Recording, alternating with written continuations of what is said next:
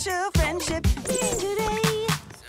Well, maybe not you, JJ. You're not here here today. Look, I may be grounded for using sass mouth, Yeah, I said it. I said it. Yeah. but JJ be there in spirit, yo. I have something I want to give to you guys. Is it moon rocks? Nope. Close your eyes. No peeking now. Oh.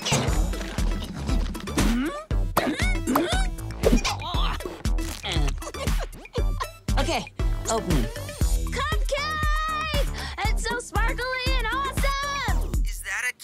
cupcake made by your mom? My favorite dog? These cupcakes are no ordinary cupcakes. I have them custom made. They're like BFF necklaces, but for your mouth. To the best friends a sausage could ask for. You know it. I'm sorry, JJ. Oh, but they're so good. JJ, are you tasting this? No. Maybe I can sneak away. JJ, Grounded means no computer. JJ out. Is this strawberry?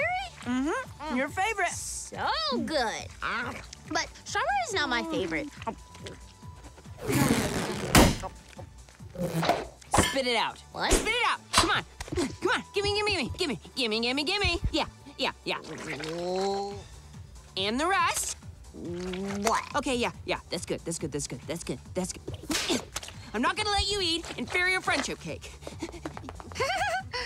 I can't believe I got her favorite cupcake flavor wrong. Strawberry? Pinky? What were you thinking? Best friends are supposed to know everything about each other.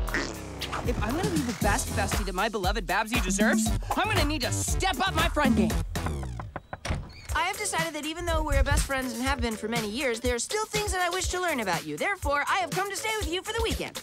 Oh, okay. Pigeon in your hair. Just don't look him right in the eye, Pinky. Yes! I'm gonna learn so much!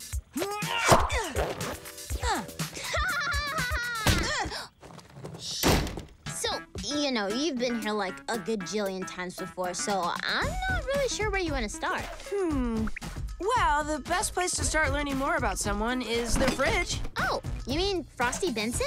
Oh, that's what I call him. Frosty Benson! I, I did not know that. Oh, wow! All your drawings from first grade. Uh-huh. What's this one about?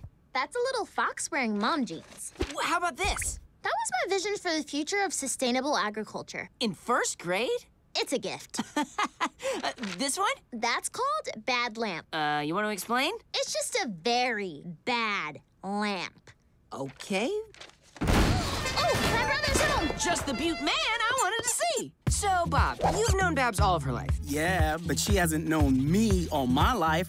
I'm still mad at her about that. Well, maybe you can take us all the way back to the beginning. What was Babs like as a a, a bebe?